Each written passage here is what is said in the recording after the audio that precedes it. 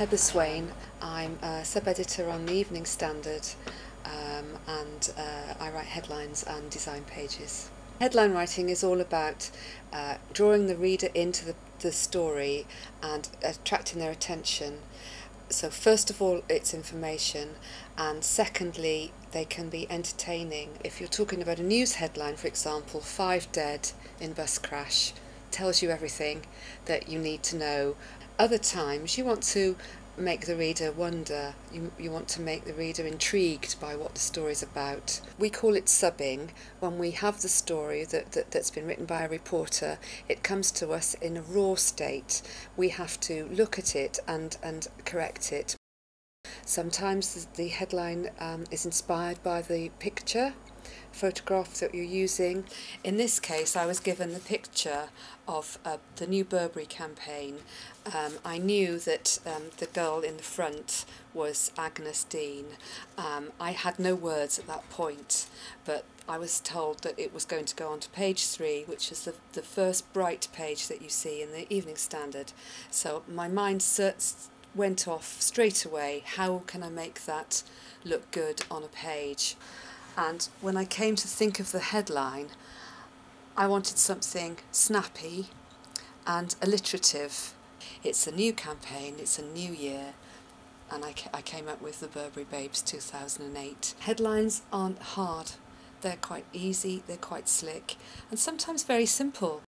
Sometimes it's, it's word association, uh, sometimes it's, it's dragging on all the um, experiences you've had.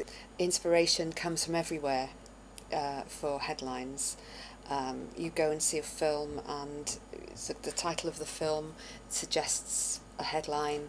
Sometimes it's it's just comes to you you know it's thought it's a, it's a it strikes you quickly. And you have to work at speed so you get used to the words coming and, and, and all the associations coming to you quickly. The banner headline or the main headline of the paper which is what people would see on the newsstands we have to get the story across in four to six words. With this I think it's very obvious. It's Maddie the movie. You know instantly who we're talking about, given that we're talking about a pool of information or shared information. Headlines have to be grammatical, so obviously you, you have to know your grammar. They have to be uh, understandable. They have to reflect the story. They have to have wit in many cases. I like headline writing particularly because it's very fast. Stories are different every day. It's it's fast flowing, but I, I don't take work home. I've never had a briefcase.